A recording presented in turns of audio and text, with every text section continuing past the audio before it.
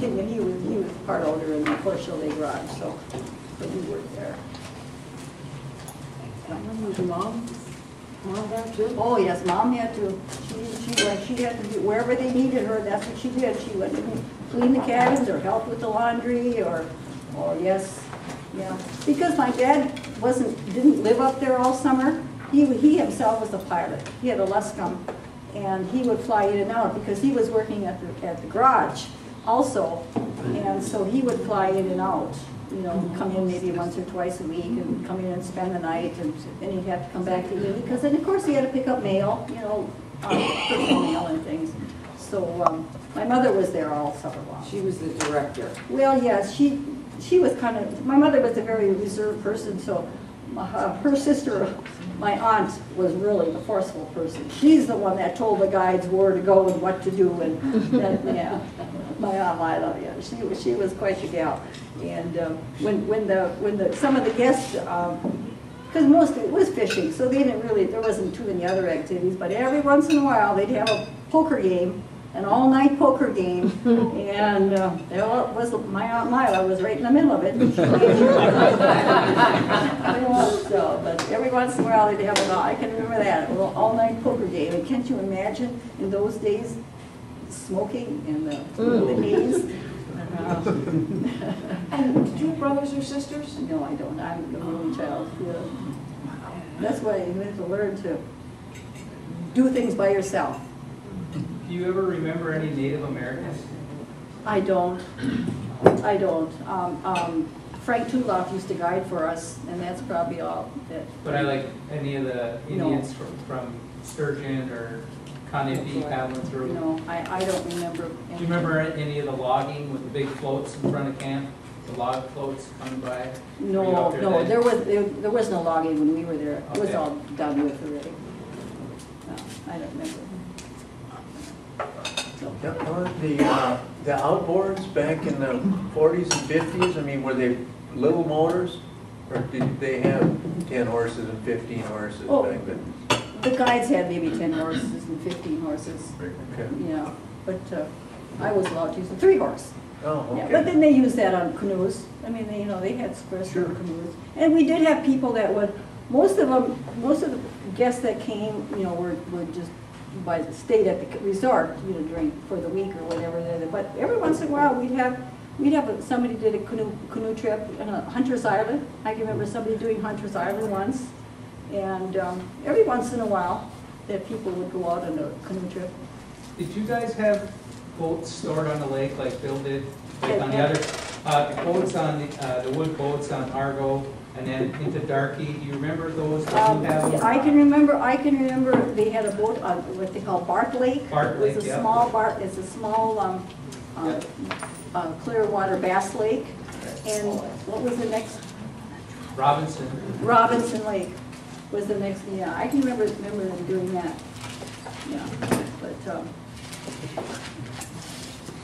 yeah, they, they they did that. But then, the- then, the- then the- they didn't have to take, a- take a canoe across, it's just the boats over there. Carol? Helen, you were big in the band. Did you get to play your musical instruments up there? No, I didn't.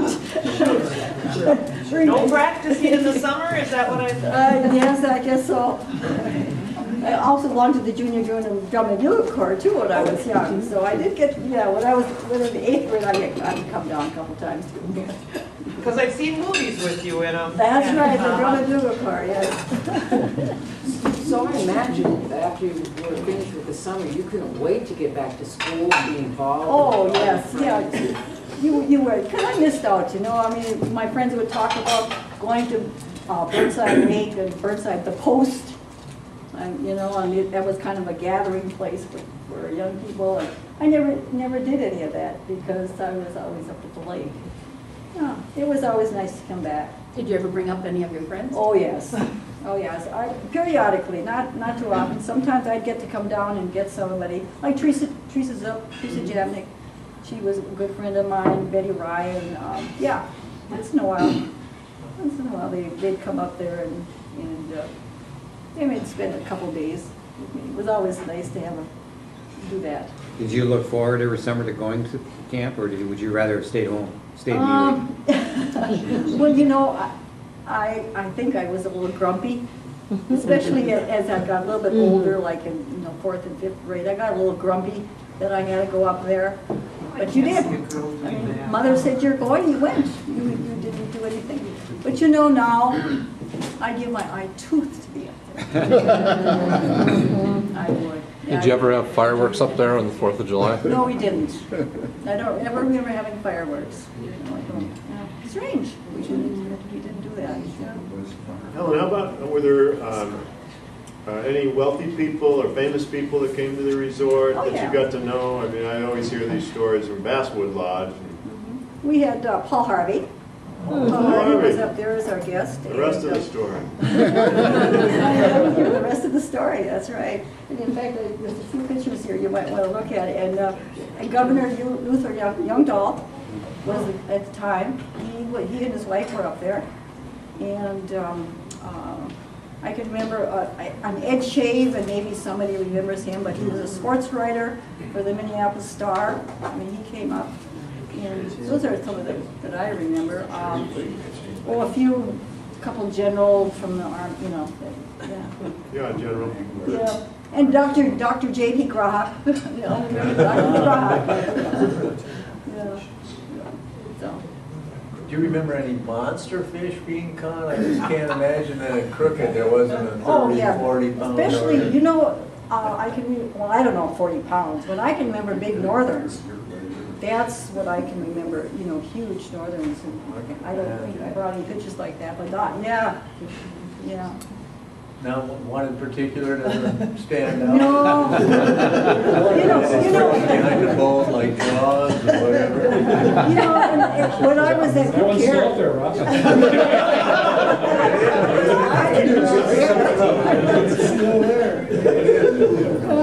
Waiting for you. How did they get there? Did they take their fish home? I mean, you pack them and, uh, they, uh, you yeah. had that- the ice from the ice house and you packed these Yes, things? exactly. Um, Every, every night when the guides would bring the, the, the the guests back in, they would have to also clean the fish. And um, I, I think they had to leave, like, right- didn't they leave, have to leave a head on or something? There was some rules. That Yes. skin. The but skin that- or something. I think that Part was of just it. recently. Uh, Back in the day, I don't remember. Yeah, Yeah, okay, now you but, have to you know, leave they would, skin. you know, take, it and it goes off, and, uh, yes, and then the guys would clean them, and and they pack them in ice, and, and that's how they got them home. Well, did you eat a lot of fish for your We, meals? they had fish, oh yeah, we had fish up there, yeah. What were some of the menus? Tell me some of the, like, was it huge, like huge breakfast, like Oh, the flapjacks? breakfasts were always, you know, hearty, hearty Yeah. breakfast, eggs and and oatmeals and bacon and all that stuff that isn't good for you anymore. Yeah. Did you guys ever smoke fish for the guests? You know, you I don't remember remember them doing that up No. there. No, yeah. the- Do you see any sturgeon ever? Do you remember? Not sturgeon, no sturgeon, not in Crooked Lake. Maybe there is now. I On don't know. iron, no, there's sturgeon and iron on- yeah. at Macri, Yeah. but. Ellen, you know, I- there's probably a lot of questions and people can ask you afterwards. Some people have to go back to Oh, work. sure, I understand. I just, uh, it was great. It was Thank so enlightening. We really loved it.